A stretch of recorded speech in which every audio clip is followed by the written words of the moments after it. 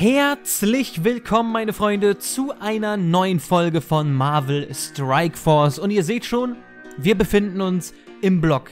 Die letzte Folge war ja ein mehr oder weniger spontanes Orb-Opening, obwohl ich eigentlich gar keine Zeit hatte, überhaupt ein Video aufzunehmen. Aber es ist ja schon einmal ausgefallen, deswegen habe ich mich zu dem Orb-Opening hinreißen lassen. Aber wir haben natürlich ein bisschen was verpasst. Red Hulk Ihr seht ihn schon. Das ist einer, den wir verpasst haben. Und wir haben noch einen Blog-Eintrag bekommen, auf den wir dann auch noch eingehen. Das heißt, heute gibt es sehr, sehr viele Charaktere und Character-Checks, die mal wieder anstehen. Und mit Red Hulk, weil das der älteste quasi ist, wollen wir anfangen. Und er ist natürlich einer von den Reitern. Ich weiß jetzt gar nicht mehr, welcher Reiter das war. Ich glaube, der Kriegsreiter, ist es richtig? Okay, ich will das mal kurz überfliegen. Schlachtfeld, blablabla. Äh, Red Hulk wird wütend. Hat er überhaupt eine Lore? Ich bin mir gar nicht so sicher, ob der überhaupt eine richtige Lore hat. Äh, schlussendlich, ja, der hat auch eine Lore. Aber auf die will ich gar nicht großartig eingehen. Lese ich mir vielleicht irgendwann noch durch. Aber jetzt erstmal nicht. Denn mit Red Hulk, ich weiß gar nicht, ob das hier steht, sollte eigentlich diese Fähigkeit kommen, dass man, ähm, ja, so eine Spielfeldfähigkeit. Wo steht das Ding? Gibt's das nicht? Doch hier. Da, Schlachtfeldeffekt. Das soll mit Red Hulk kommen. Moment, wir können ja mal kurz, diesen Abschnitt können wir uns ja mal kurz angucken. Genau, bei den Schlachtfeldeffekten handelt es sich um eine neue Fähigkeitenmechanik, die mit Red Hulk eingeführt wird. Genau darauf wollte ich hinaus. Das wird nochmal sehr viel neuen Schwung in dieses Spiel bringen. Da gehe ich mal stark von aus. Ähm, sie werden auf eine bestimmte Seite des Schlachtfeldes ähm, auf die der Feind oder des Spielers, also je nachdem, ne, Gamma könnte natürlich auch für alle zählen, auf beiden Seiten, aber naja, so weit sind wir noch nicht. So, angewendet. Und dauern bis zum Ende des Kampfes. Also diese Schlachtfeldfähigkeiten oder Effekte sind den ganzen Kampf über aktiv. Ich bin mir auch ziemlich sicher, dass es irgendwann eine Fähigkeit gibt, die diesen Schlachtfeldeffekt deaktiviert. Aber noch sind wir ganz am Anfang bei dieser Fähigkeit. Der Schlachtfeldeffekt von Red Hulk Gammastrahlung wird auf die feindliche Seite des Kampfes angewendet und sorgt dafür, dass die Feinde während ihrer Runden angegriffen werden und drei Stapel von Blutung erhalten. Also, dieser, diese Gammastrahlung heißt, jedes Mal, wenn der Gegner dran ist, ich weiß nicht, ob es nur für Red Hulk gilt, aber irgendjemand aus eurem Team greift das gegnerische Team an, beziehungsweise den, der gerade am Zug ist. Das heißt, mit jedem Zug kriegt er erstmal ein vor den Tabernakel gekloppt. Sehr schön. Ist ein bisschen, weil es nur diesen einen Effekt dann geben wird mit Red Hulk, ist er natürlich sehr übermächtig. Und andere Teams werden da wahrscheinlich ein bisschen in die Röhre gucken kann ich mir vorstellen, wenn weil es halt nur diesen einen Effekt mit nur diesem einen Charakter gibt und einen richtigen Konter dafür gibt es ja auch nicht. Also stelle ich mir schon sehr hart vor und ein Stapel von drei Blutungen, die dann jeder Feind während der Runde bekommt, ist halt auch ganz schön heftig. Und den kriegt er ja immer, oder? Ne? Also immer, wenn der, wenn jetzt, keine Ahnung, sagen wir, Wolverine ist gerade dran. Wolverine fällt mir ein, weil, weil ich ihn aus den Orbs haben will, ähm, also raushaben will. Ähm, Wolverine greift an, dann kriegt er erstmal eine verkloppt und dreimal Blutung. Und dann greift Wolverine irgendwann ja wieder an, kriegt wieder eine, eine reingehauen, automatisch, und kriegt nochmal drei Blutung. Und so, das gilt halt für das ganze Team. Das ist ja mega extrem. Und ich bin mir sicher, dass Teams, die mit Blutung arbeiten oder durch Blutung ähm, mehr Schaden machen oder sowas, dass die von dem Red Hulk dann auch nochmal profitieren und wir da schon bestimmt die ein oder andere wilde Zusammenstellung bekommen könnten. Seine Merkmale sind Held Global Bio Nahkampf Gamma Reiter und Legendär. Also einige schöne Merkmale. Sehr schön finde ich, dass hier mal nicht Mutant oder X-Men bei ist. Davon habe ich nämlich genug in letzter Zeit gesehen. Kommen wir zu seinen Fähigkeiten. Jetzt muss er natürlich, also Red Hulk, der muss halt, der muss halt reinhauen, oder? Der muss halt richtig böse Schaden machen. Greift das Primärziel an mit seiner Feuerfaust.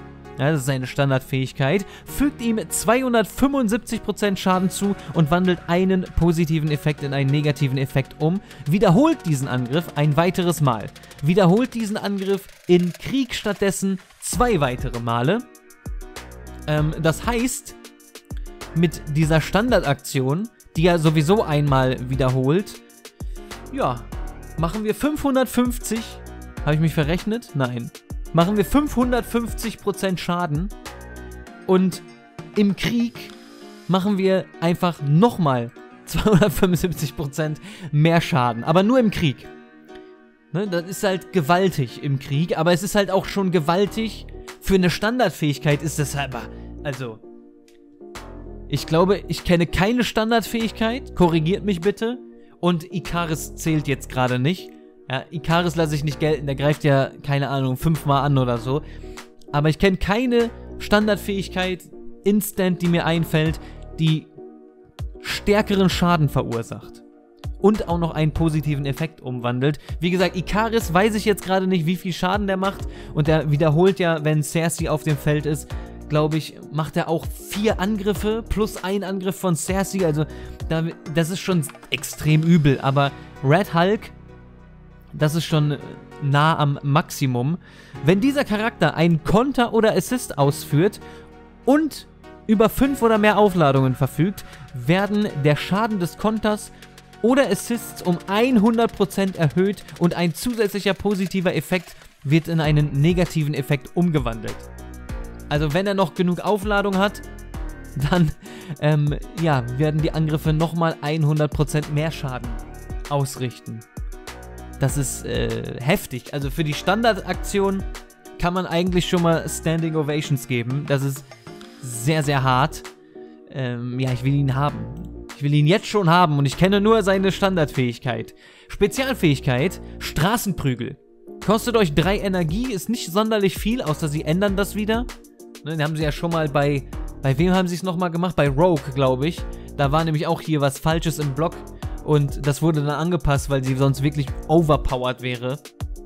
Ähm, ich hoffe, sie passen das jetzt hier nicht an, sondern es stimmt alles. Entfernt Barriere vom Primärziel und benachbarten Zielen.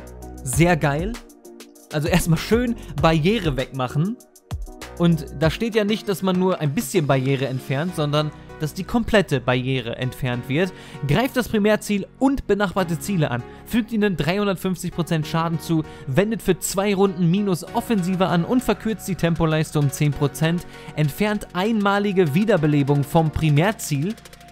Ja, also, das ist natürlich auch Zucker.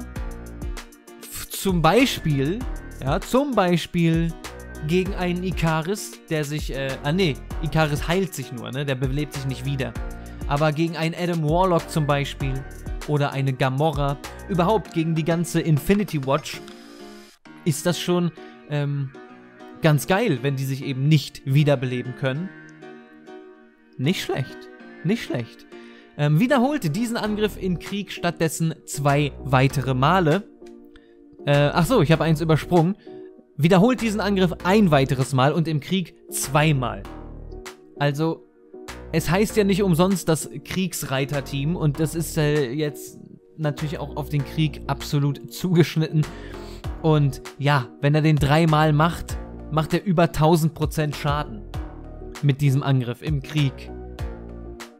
Also, ne, 1050% müssten das sein, die er Schaden macht.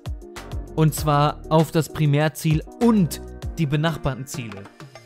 Das heißt, so drei Leute bekommen 1050% Schaden und der braucht halt nur drei Energie. Ist also relativ schnell wieder verfügbar. Heftig.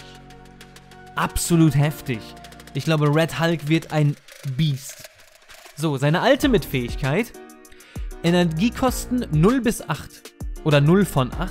Was soll denn das heißen? 0 von 8. Ja, kostet das jetzt 8 oder kostet das jetzt 0? Ich gehe mal davon aus, dass es 8 sind und der gute Herr, der das geschrieben hat, sich wahrscheinlich verdrückt hat. Aber gucken wir mal. Greift alle Feinde an, fügt ihnen 450% Schaden zu und wandelt alle positiven Effekte in negative Effekte um. Wendet auf alle Feinde für zwei Runden Trauma und für zwei Runden Heilblockade an. Erhöht den Fokus für diesen Angriff um plus 500%. Dieser Angriff ignoriert plus Defensive, kann nicht geblockt werden und ist unausweichlich. Also, dass der auch noch plus Defensive ignoriert, ist ja fast schon eine Frechheit. Aber geil. So, dann äh, dieser äh, entfernt alle Schlachtfeldeffekte auf der feindlichen Seite und wendet den Schlachtfeldeffekt Gammastrahlung auf die feindliche Seite an. Hier haben wir es sogar schon. Hier haben wir es sogar schon. Entfernt alle Schlachtfeldeffekte. Also auch schon mal für künftige Schlachtfeldeffekte ein Konter. Obwohl es bis jetzt noch gar keine anderen gibt, ist mit Red Hulk bereits jemand da, der einen Schlachtfeldeffekt kontern kann und in Gammastrahlung umwandeln kann. Geil. Also haben sie gleich den Konter mitgeliefert. Finde ich gut. Allerdings ist es bei einem Mirror-Match, also Red Hulk gegen Red Hulk, eigentlich kann man da den Red Hulk mit dem Red Hulk auskontern. Muss man mal, ist eine Überlegung wert. Gammastrahlung kommt dann jetzt hier. Greift während der Runde eines Feindes diesen Feind an, fügt ihm 250% Durchdringungsschaden zu und löst dreimal Blutung aus. Angriffe, die durch diesen Schlachtfeldeffekt ausgelöst werden, sind unvermeidbar. Dieser Schlachtfeldeffekt bleibt so lange bestehen, bis er entfernt wird oder der Kampf endet. Also wird es die Fähigkeiten geben, Schlachtfeldeffekte zu entfernen. Das ist auch gut so. Es ist auch gut so, dass man dann nicht darauf hängen bleibt. Ähm, und man löst mit der Ultimate-Fähigkeit diesen Schlachtfeldeffekt erst aus. Soweit ich das verstanden habe. Aber wir müssen noch die passive Fähigkeit abwarten. Vielleicht steht da noch irgendwas drin. Nämlich. Achso, was war das überhaupt? Meteoriteneinschlag.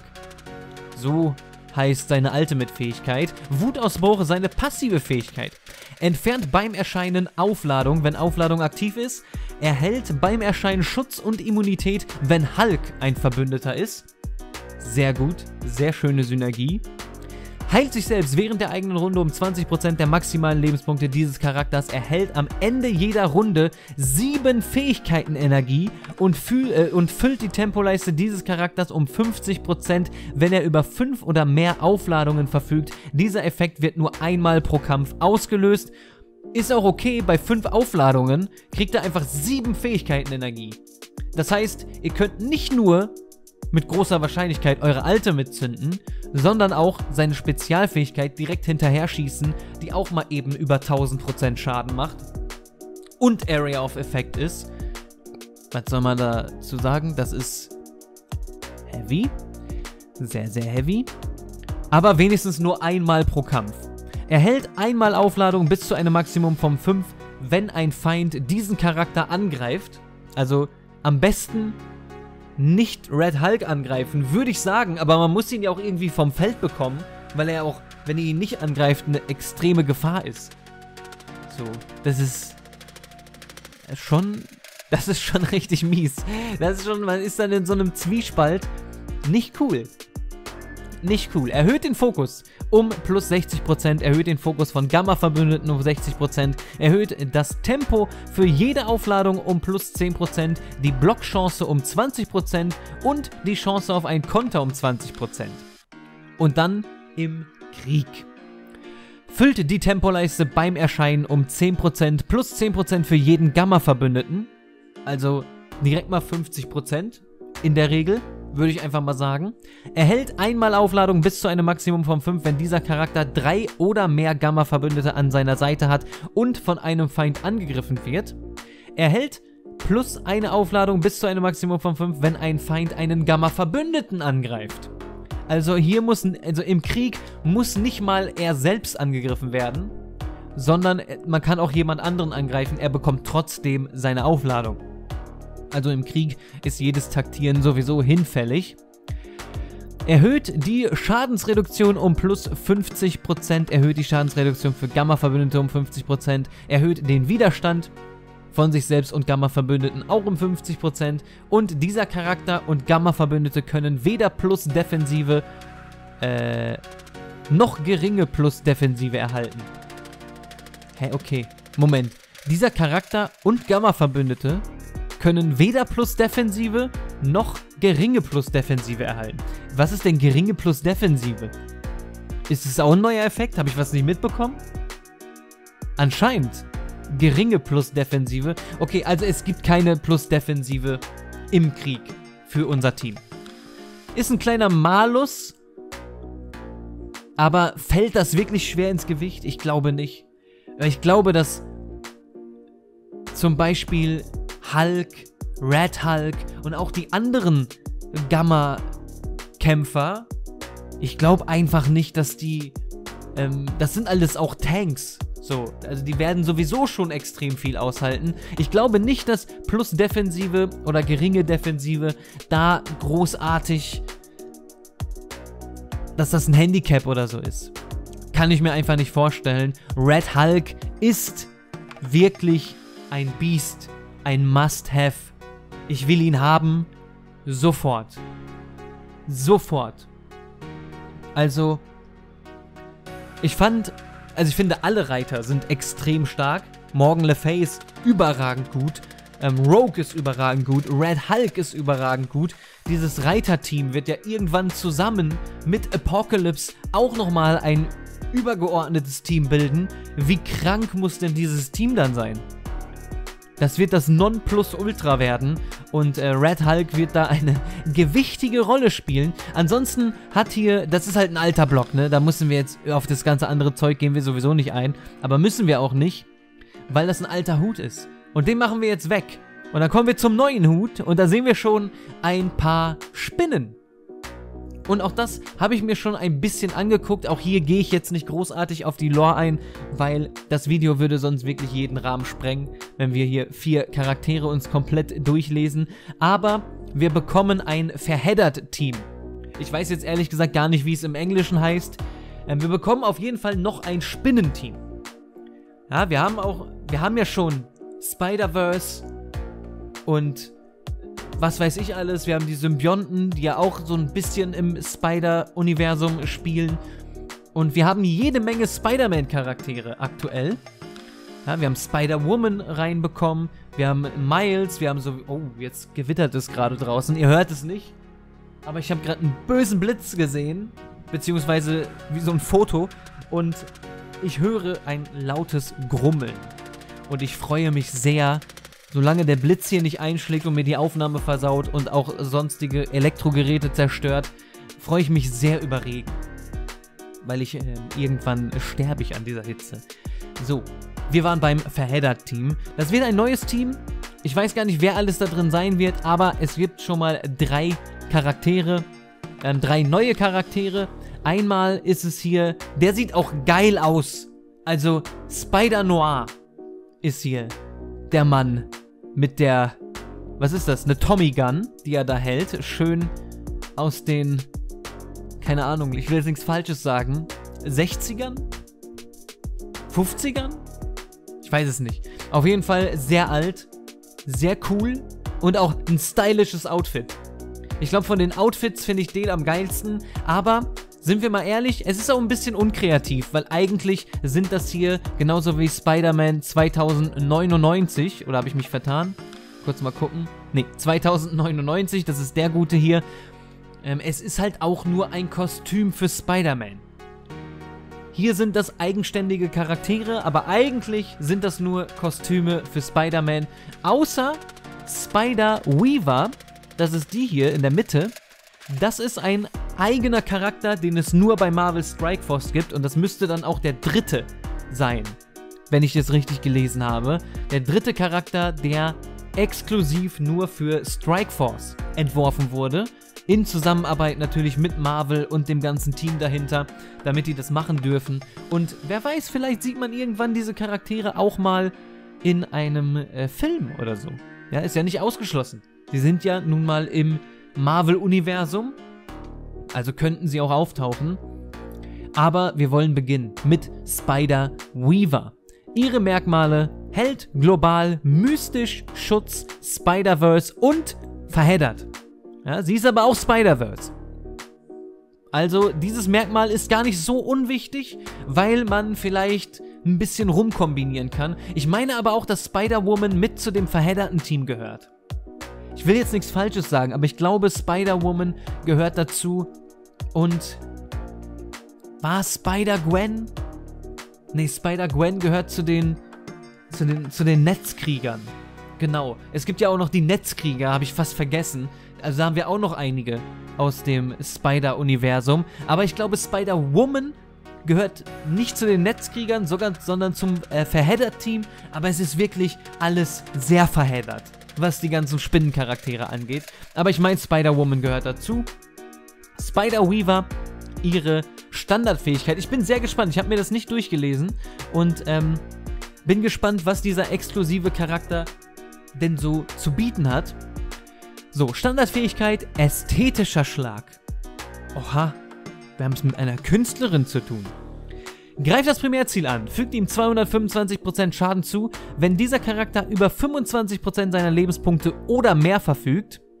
Dann kommt folgendes zur Geltung führt einen Bonusangriff gegen das Primärziel aus und fügt ihm nochmal 125% Durchdringungsschaden zu und löst Blutung aus. Entfernt einen negativen Effekt von diesem Charakter, wenn er unter negativen Effekten leidet. Entfernt einen negativen Effekt von einem zufälligen Verbündeten mit einem negativen Effekt, wenn dieser Charakter unter keinem negativen Effekt leidet. Wiederholt diesen Bonusangriff bei 50%, 90% und 100% der Lebenspunkte eigentlich auch ordentlich. Wir hätten uns Red Hulk vielleicht zuletzt angucken müssen, weil jetzt alles schwach aussieht gegen Red Hulk, aber das ist schon wirklich auch für eine Standardfähigkeit wieder eine sehr gute Fähigkeit, die auch guten Schaden macht. 350% Schaden mit der Standardfähigkeit plus dieses Effekt-Switchen oder Löschen von negativen Effekten ist okay und wiederholt diesen Bonusangriff ähm, bei 50%, 90%, 100% der Lebenspunkte ist auch gut.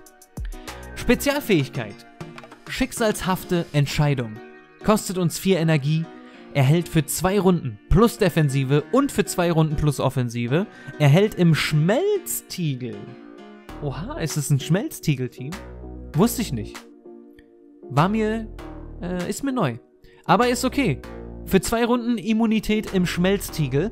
Erhält Aufladung, wenn dieser Charakter nicht über Aufladung verfügt. Überträgt die positiven Effekte dieses Charakters auf alle verheddert Verbündeten und zwei andere zufällige Verbündete, weil das Verheddert-Team ist nämlich noch nicht komplett. Und ihr könnt natürlich auch Spider-Verse-Charaktere mit in das Verheddert-Team tun. Da könnt ihr euch ein bisschen austoben heilt sich selbst und alle verheddert Verbündeten, das hört sich auch so dumm an, verheddert Verbündeten um 30% der maximalen Lebenspunkte dieses Charakters, heilt zwei andere zufällige Verbündete um 10% der maximalen Lebenspunkte dieses Charakters, also ein bisschen weniger, aber profitieren trotzdem davon. Greift das Primärziel an, fügt im... Was? Fügt im 3... ihm. Ihm, da fehlt das H. Fügt ihm 350% Schaden zu, und führt anschließend Rückschlag-Kettenangriffe gegen drei benachbarte Feinde aus, die 300% Schaden verursachen. Also schöner Area of Effect Angriff, der noch zu dem Ganzen dazukommt. Dieser Angriff kann auf unsichtbare Ziele überspringen. Unsichtbarkeit hilft hier also nicht. Konter unterbricht diesen Kettenangriff. Dieser Angriff ist unvermeidbar und kann nicht geblockt werden. Ist also macht auch gut Schaden, auch dass er Area of Effect ist mit Rückschlag, Kettenangriff, dieses Hin und Her ist auch gut machen aber viele von diesen Spider-Verse-Charakteren. Ähm, deswegen passt es, finde ich, auch gut in dieses Team hinein. Und damit kann man auf jeden Fall zufrieden sein. Das ist auch eine sehr ordentliche Spezialfähigkeit und sie ist im Schmelztiegel gut, weil man für zwei Runden Immunität bekommt und Immunität ist halt auch wirklich schon ein mächtiger Buff. Ultimate-Fähigkeit Fäden des Schicksals braucht 8 Energie. Das ist viel Energie, bis ihr das zünden könnt. Greift das Primärziel an, fügt ihm 550% Schaden zu und wendet Betäubung und Trauma an. Erhält für zwei Runden Schutz, erhält drei Aufladungen, erhält im Schmelztiegel stattdessen fünf Aufladungen. Okay, es ist eine mächtige Attacke, macht halt sehr viel Schaden, betäubt den Gegner und verpasst ihm Trauma. Das ist halt auch ein Monster-Debuff, den der Gegner dann bekommt. Plus die drei Aufladungen, die du kriegst und zwei Runden lang Schutz. Und im Schmelztiegel sogar fünf Aufladungen. Es ist schon eine sehr ordentliche alte mit Fähigkeit, aber 8 Energie erscheint mir trotzdem ein bisschen viel, um sie zu zünden. Muss man mal abwarten. Aber es erscheint, auf den ersten Blick sieht es viel aus. Dann haben wir natürlich noch die passive Fähigkeit Meister des Schicksals beim Erscheinen. Wendet auf alle verheddert Verbündeten für zwei Runden Unsichtbarkeit an. Also direkt mal sind alle unsichtbar, die verheddert sind. Hört sich auch weird an wendet auf sich selbst und alle verheddert Verbündeten im Schmelztiegel Barriere an, wodurch Schaden in Höhe von 30% der maximalen Lebenspunkte dieses Charakters absorbiert wird. Wendet auf zwei zufällige Verbündete, die keine verheddert Charaktere sind, im Schmelztiegel Barriere an, wodurch auch 30% ähm, Schaden absorbiert werden. Also hier gibt es keine, ähm, keine Einschränkung. Ja, bei dem anderen hatten wir, dass die Prozentzahl ein bisschen geringer ist. Hier ist das nicht der Fall wendet während der eigenen Runde auf sich selbst Barriere an, wodurch Schaden in Höhe von 15% der maximalen Lebenspunkte ähm, dieses Charakters absorbiert wird, gewährt diesem Charakter eine Fähigkeitenenergie und füllt seine Tempoleiste um 10%, wenn er oder ein verheddert Charakter, äh, Verbündeter, angegriffen wird. Okay, okay, also immer wenn angegriffen wird, bekommt sie halt eine Fähigkeitenenergie. Dann revidiere ich das mit den 8 Energien. Dann geht das ja ruckzuck und hier die vier sind ja dann auch mega schnell wieder voll. Also jedes Mal, wenn auch wenn ein Verbündeter angegriffen wird, kriegt man das halt. Das ist ja krass. Das ist ja wirklich krass. Aber okay. Und die Tempoleiste steigt auch um 10% bei jedem Angriff. Ist halt super schnell auch wieder dran. Könnte geil sein. Ich glaube, die passive Fähigkeit ist hier ausschlaggebend, dass der Charakter richtig, richtig gut wird. Verringert die Genauigkeit von allen Feinden um 100%, solange dieser Charakter über Aufladung verfügt, verliert eine Aufladung, wenn ein Feind verfehlt. Und mit dieser Attacke bekommt ihr halt drei Aufladungen oder fünf und ihr habt 100%, äh, ihr verringert die Genauigkeit um 100%. So, mehr als 100% dürfte eigentlich nicht gehen. Das heißt, eure Gegner verfehlen sowieso weil ihr ihre Genauigkeit nun mal senkt. Ist auch krass. Ist auch wirklich krass. Okay, aber ja, so ist es halt. Ähm, ich weiß nur nicht, ob es bei an, nur bei Angriffen ist auf Spider-Weaver oder auf das ganze Team, aber eigentlich müsste es auf das ganze Team sein, weil verringert die Genauigkeit von allen Feinden um 100%, solange Aufladung äh, da ist. Also egal wen das Team angreift, es wird daneben hauen. So, außer es gibt natürlich einen Konter oder ein spezieller Charakter, der da nicht anfällig ist oder sowas. Solche Spezialisierungen lasse ich mal außen vor, aber an sich sind die da schon ziemlich wehrlos. Feinde, die von diesem Charakter getötet werden, können nicht wiederbelebt werden. Auch krass. Auch eine krasse Fähigkeit. Erhöht die maximalen Lebenspunkte um 40%, auch von Verhedderten um 30%. Erhöht die Lebenspunkte von allen Verbündeten im Schmelztiegel zusätzlich um 10%, sodass wir im Schmelztiegel auch die 40% erreichen. Und ich würde sagen, Spider-Weaver wird auch ziemlich fett. Die wird auch ziemlich fett, das sind sehr gute Fähigkeiten, aber ihre passive Fähigkeit ist das Beste hier finde ich. Ihre passive Fähigkeit wertet sie einfach so krass auf. Ähm, ja. Ich glaube, der nächste exklusive Charakter hier mit Spider-Weaver wird wieder äußerst ordentlich. Spider-Man 2099 hält statt Bio-Kontrolle Spider-Verse verheddert. Standardfähigkeit Klauenschlitzer. Greift das Primärziel an, fügt ihm 300% Schaden zu, entfernt zwei zufällige positive Effekte, wendet minus Defensive ein, äh, an und löst Bluting, äh, Bluting, Bluting aus. Bluting ist übrigens die neue Fähigkeit und wird Blutung ab jetzt ersetzen. Springt auf ein benachbartes Ziel über, fügt ihm 200% Schaden zu, entfernt zwei positive Effekte, zufällige positive Effekte und löst ebenfalls Blutung aus. Ähm, ja, 500% Schaden, der natürlich auf zwei Charaktere verteilt wird. Bei einem kritischen Treffer im Schmelztiegel verlängert die Dauer aller negativen Effekte mit Ausnahme von Betäubung, Fähigkeitenblock und Trauma von allen Zielen um 1 und verlängert die Dauer von allen Stapeln von Blutung auf allen Zielen um 1. Solange ihr einen Critical Hit landet, auch nochmal geil im Schmelztiegel, ne? Ist auch nochmal sehr, sehr schön. Ich glaube, das wird auch ein gutes Team für den Schmelztiegel werden. Dann Schock und Staunen. Braucht nur drei Fähigkeiten Energie, wendet Fähigkeitenblock auf das Primärziel an, greift das Primärziel und benachbarte Ziele an, fügt ihnen 350% Schaden zu, wandelt plus Offensive um und löst Blutung aus. Wendet auf zwei zufällige Verbündete, die nicht über plus Offensive verfügen, für zwei Runden plus Offensive an und priorisiert dabei verhedderte Verbündete. Also ihr könnt ja auch andere Verbündete haben, aber die verheddert Verbündeten, die werden bevorzugt behandelt. Bei einem kritischen Treffer im Schmelztiegel, da sind wir schon wieder, also wenn ihr mit dieser Fähigkeit kritisch trefft, verlängert die Dauer aller negativen Effekte, das haben wir schon, ist, also ist der gleiche Effekt, ja, beides das gleiche.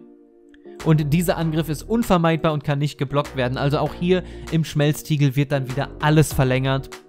Auch sehr, sehr stark bis jetzt.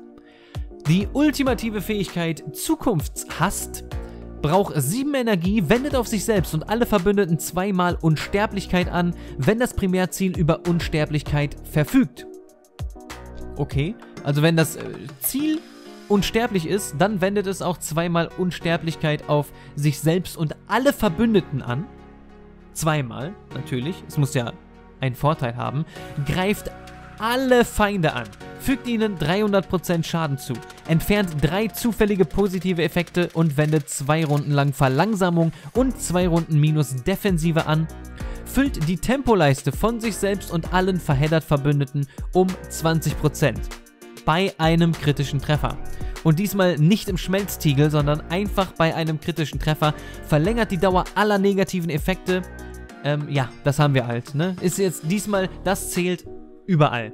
Nicht nur im Schmelztiegel, damit das alles einfach verlängert wird. Äh, sehr, sehr nice.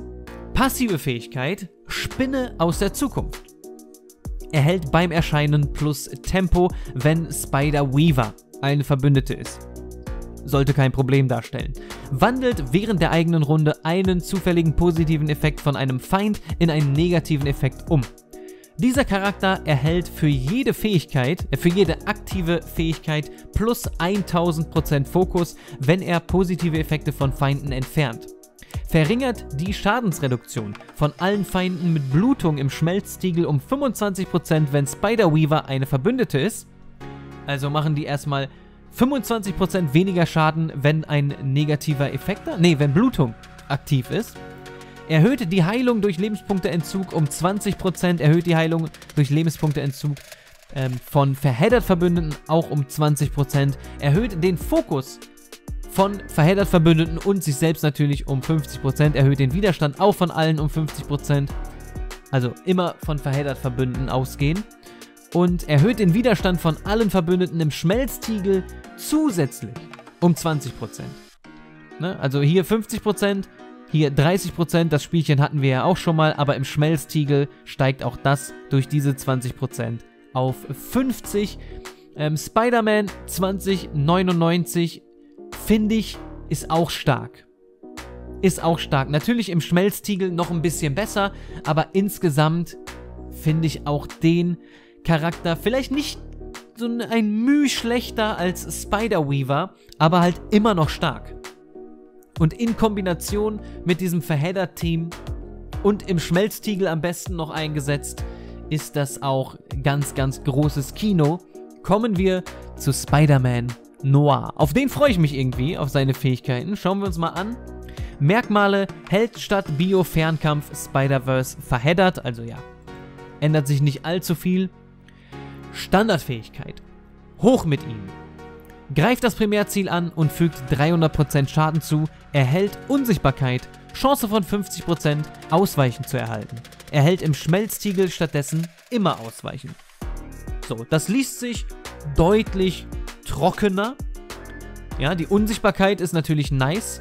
Wobei wir ja schon bei Red Hulk gelernt haben, ne? Oder war das bei Red Hulk?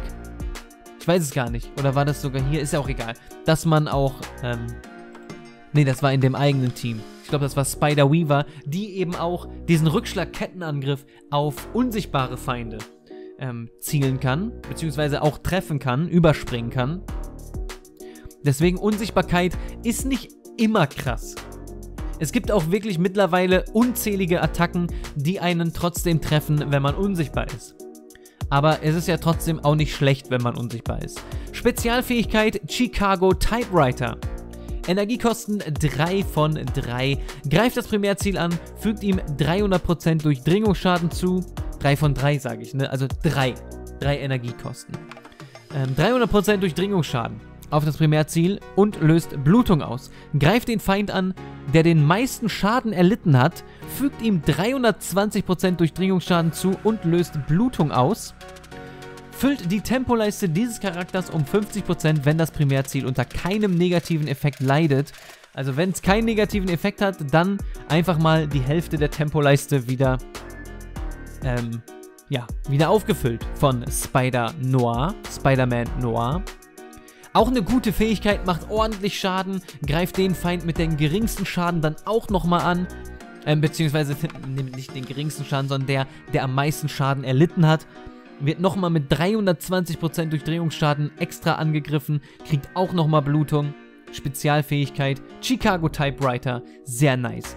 Ultimate-Fähigkeit, Bleiregen, da benutzt er doch bestimmt seine Tommy Gun. 5 Energiekosten, greift das Primärziel an, fügt ihm 350% Durchdringungsschaden zu, löst dreimal Blutung aus und wendet für eine Runde Heilblockade an. Diese eine Runde kann natürlich verlängert werden durch die anderen Charaktere.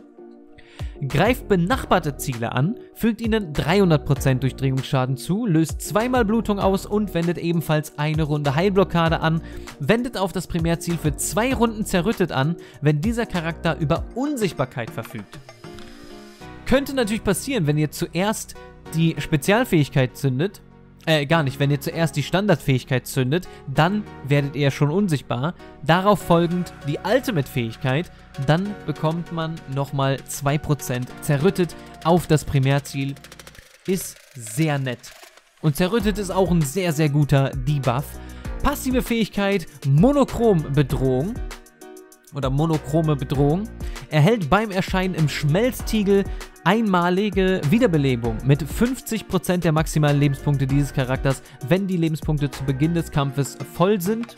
Und das sollten sie beim Schmelztiegel eigentlich.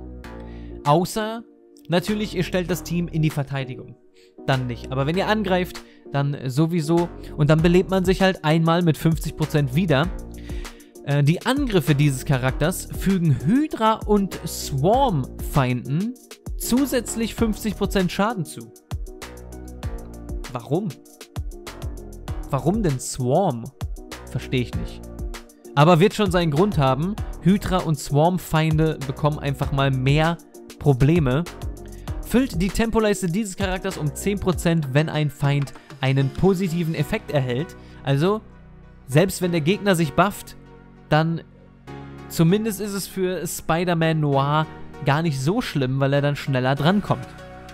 Erhöht den Schaden um 15%, erhöht den Schaden von verheddert Verbündeten um 15%, erhöht den Schaden von Spider-Verse. Hier wird exklusiv auch von Spider-Verse gesprochen, Verbündeten, bei denen es sich um keine verhedderten Charaktere handelt, im Schmelztiegel auch 25, äh, 15%, wenn Spider-Weaver aber eine Verbündete ist.